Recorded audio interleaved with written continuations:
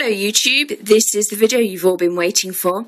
This is going to be a unboxing and a review of part 4 and 5 of the Doctor Who figurine collection. Okie dokie, so let's get stuff out. Okay, here we have Silurian figure from Cold Blood and it's part 5, so I'll put that down there. Here we have part four's figure. It's a Weeping Angel from Flesh and Stone.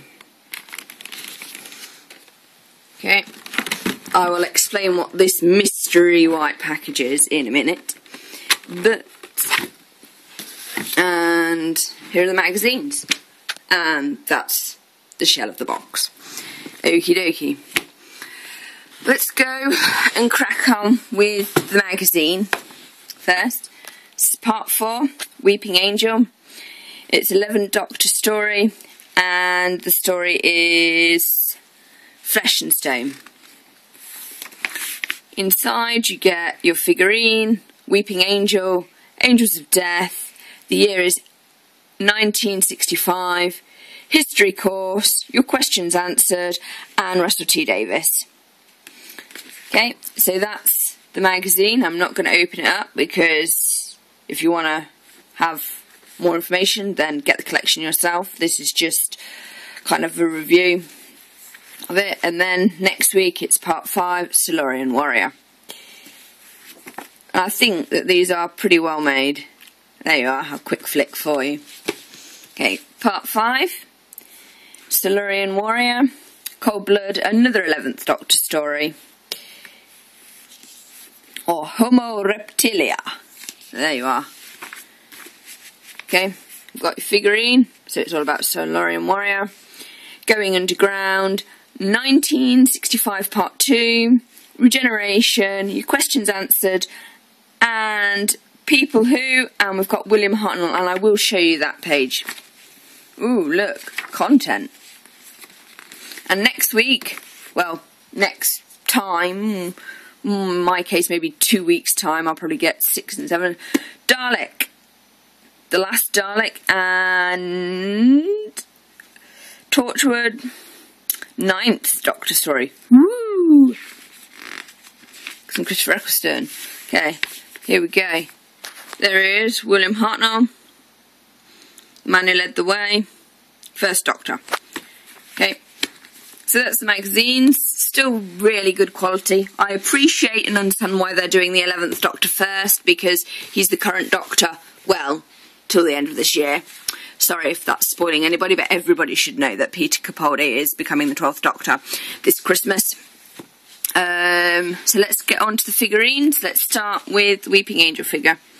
So we've got the lovely box. I really like the display things that they come in. It's been really well thought through box, BBC logo at the top, bump at the bottom. Let's get it out.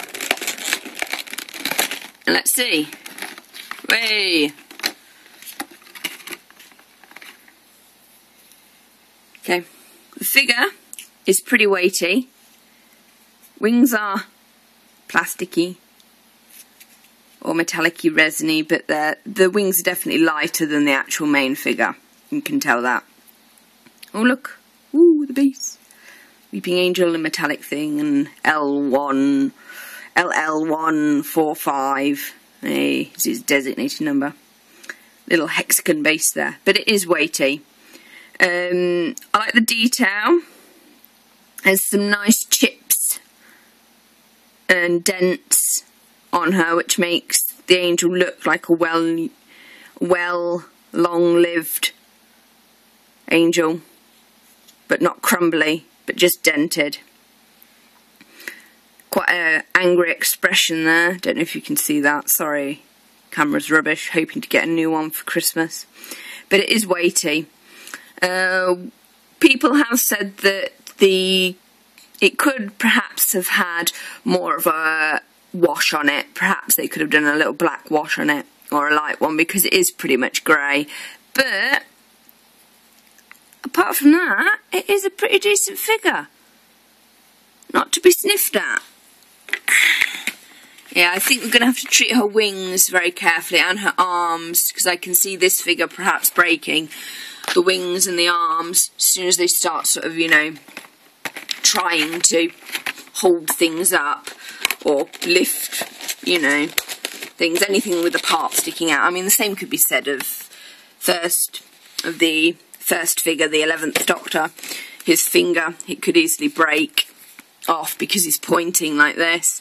Same could be said of the Weeping Angel. Her main things, I think this figure is at risk of damaging its wings and possibly its arms and maybe its tongue because it's dangling out. But, but overall, a nice figure. Shame about the white denting on the thing. But hey it did come in the post. Oh, just so you know, the background is my lovely Doctor Who collage. Just thought you'd like to see that. And there's the infamous fiddly binder. And there's the figurine collection magazine, guide to the series, which I think is a really helpful thing that they've done. There we go. Put them in nice order. There we are. For people who like order. There you go. Let's get let's have a look at this Silurian figure. Okay. Same plastic bit. Five Silurian Warrior. Why does it say cold blood there?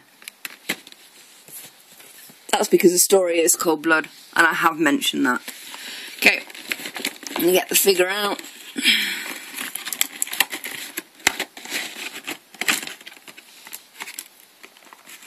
Here we go. This is a lighter figure, a much lighter figure than Davros and the Angel, because at the moment, the Angel and Davros are my heaviest figures, followed by Cyber Controller, and my lightest, well, even Matt Smith, the 11th Doctor, is pretty weighty. This is pretty light, so the Silurian Warrior is actually the lightest figure. Um, got some nice details there, turn it around, sit put it on the floor, top view. Some really nice details on this one. I think this one's had some really nice working on it. Yeah, like the mask. Yeah, bottom OA970. Yeah, quite nice. Yeah, this is a good figure. I like the fact that they've actually used different colours for the green of the back of the head. So you've got darker and lighter greens. It is, it's a good paint job. Yeah, it does. It looks nice. So that's that figure. It's the lightest one so far. Put it back in there. So there we go.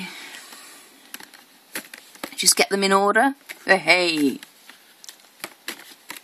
Are. Figurines in order for you. Okay. Magazines. I will then wrestle with the fiddly binder to get them in. Here we go What is this white package. Okay. Warning! Display plinth. Not designed or intended for play by children, because it is pretty heavy. You could do some serious damage with that if it got dropped on your toe or even your head. Oh look, the address! Very nice. There we go. Oh, lovely, made in China. Quality goods.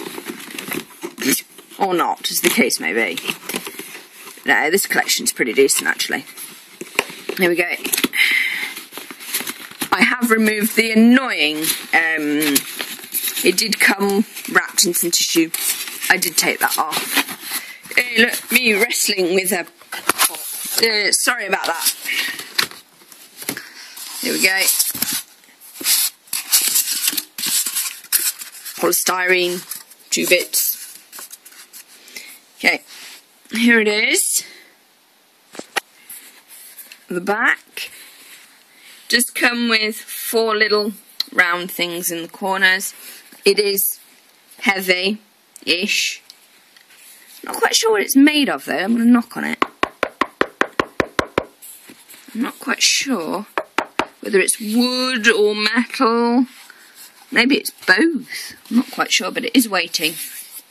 We've got one, two, three, four, five, six, seven, eight, nine, ten. Ten spaces for figures. So if we got them all out and stuck them on, it would look something a bit like this.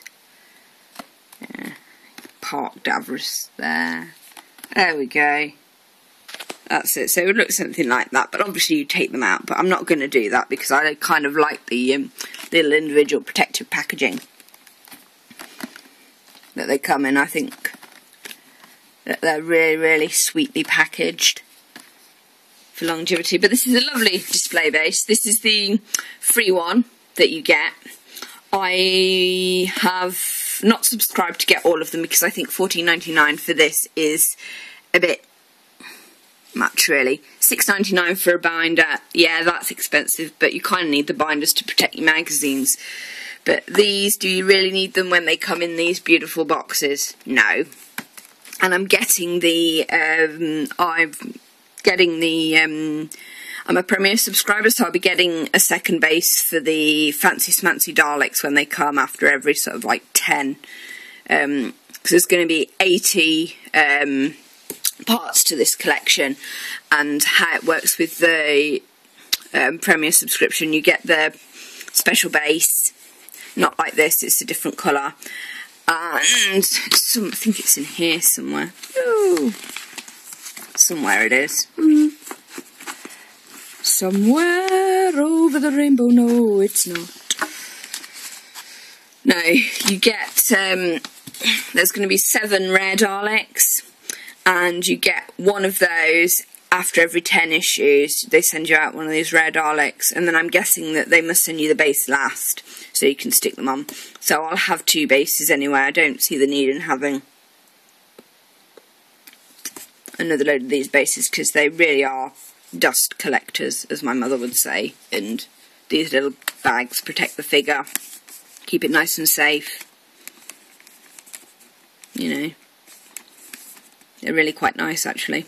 Why get rid of those? Just stick them on here and then, you know, your three-year-old knocks them over. or whatever. So, um, yeah. So this has been the review. I hope you enjoyed it. I will post more when I hear more, but I think this is a great collection. And I'm just letting you know. Sorry for the long video. Bye, guys.